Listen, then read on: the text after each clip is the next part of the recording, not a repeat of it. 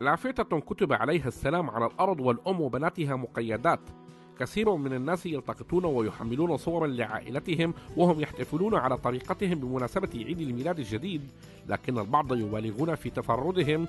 هذا الرجل الذي يرتدي الأحمر ويقول لنا بأنه ما زال عرصة على الرغم من كبر سنه من خلال راقصات التعري وقمصانه عفوا لكن المنظر مثير للشفقة. في تلك الأثناء كانت إحدى عوائل لويزيانا تتأمل وتبحث عن صورة لميلاد 2015 تقلب الموازين وفريدة من نوعها. والنتيجة كانت مرعبة. لقد انتشرت الصورة على فيسبوك كالنار في الهشيم بعد أن حملوها.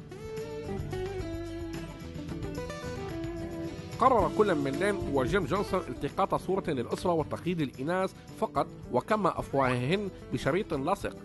لقد كانت فكرة الأم لين بعد ربطهن بأكبال الإضاءة حمل لافتة تقول السلام على الأرض بينما يرفع ولده الصغير إبهامه موافقا. فهل فهمتم المغزى؟